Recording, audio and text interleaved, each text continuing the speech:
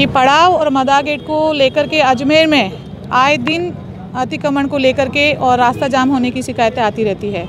इन लोगों को मैं आज की कार्रवाई से पूर्व पाँच बार खुद आकर के इनको बहुत प्यार से समझा बुझा करके गई हूँ। मैं आती हूँ तब ये सामान ले लेते हैं और तुरंत गाड़ी के जाने के बाद में सामान वापस एज इट इज़ ये लोग रख देते हैं। और इसी को देखते हुए, कानून की सख्ती को करते हुए आज मैंने कार्रवाई की है। आज इनका सामान हमने और नगर, निगम दोनों ने मिल करके इसको जब्त किया गया है। आगे भी टाइम दिया आपने? आगे अभी कुछ व्यापारी जो बोल रहे हैं, हमें पता नहीं है, उनको बोला है, ठीक है, तीन दिन का टाइम है। जो ये मंडी जो अपनी, अनाज मंडी और ये जो पूरी मंडी है, इसके जो व्यापारी कह रहे हैं, हमें तीन दिन का टाइम दीजिए, हम आपस में मिल बैठ करके बातचीत करके और जो सामान है, वो हमारा अंदर ले लेंगे। तो तीन दिन तक का इनको टाइम दिया जाता है, केवल मंडी वालों को।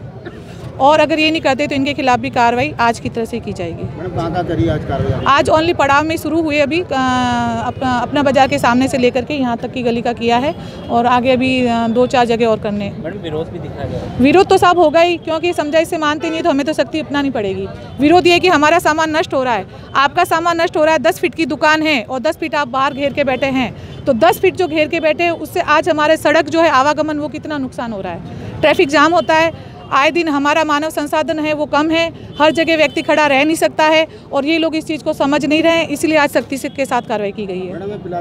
गाड़ियाँ भी खड़ी होती है गाड़ियों की भी बिल्कुल साब इनकी भी की जाएगी समय रहते हुए बिल्कुल धीरे धीरे हर समस्या का निस्तारण किया जाएगा।